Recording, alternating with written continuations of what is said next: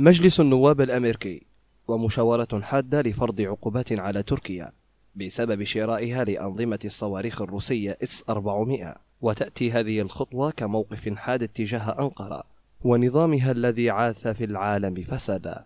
المشرعين في مجلس النواب الأمريكي تبنوا بالإجماع التعديل الذي قدمه أحد النواب الجمهوريون وآخر من الديمقراطيون.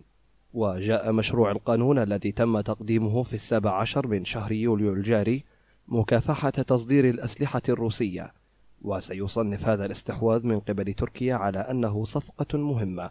وفقا للمادة 231 من قانون مكافحة خصوم أمريكا عبر العقوبات. وفي الوقت نفسه قدم رئيس لجنة العلاقات الخارجية بمجلس الشيوخ تعديلا مشابها على مشروع قانون الدفاع في مجلس الشيوخ.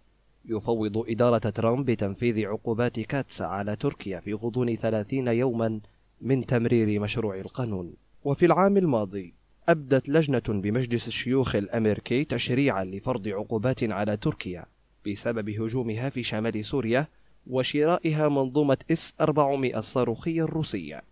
وكان ذلك أحدث تحرك بالمجلس لحث الرئيس الأمريكي دونالد ترامب على اتخاذ نهج أكثر صرامة اتجاه أنقرة. وفي ديسمبر الماضي صوتت لجنة العلاقات الخارجية بمجلس الشيوخ الأمريكي الذي يقوده الجمهوريون بواقع 18 صوتا مقابل أربعة أصوات لصالح طرح قانون تعزيز الأمن القومي الأمريكي ومنع ظهور تنظيم الدولة الإسلامية داعش من جديد لعام 2019 للتصويت في المجلس بكامل هيئته. ويدعو مشروع القانون إلى فرض عقوبات ضد تركيا كما يدعو بالإضافة إلى ذلك إلى الحد من بيع الأسلحة الأمريكية إلى أنقرة.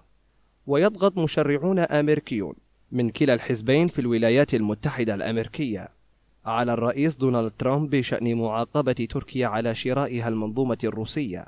والسؤال الذي يطرح نفسه هل سيتحد مجلس الشيوخ الأمريكي ويستغل هذه الفرصة لتغيير سلوك تركيا أم أن النظام التركي سيستمر في سياسته المبهمة؟ لقناة ليبيا الحدث سفيان بوغرسة.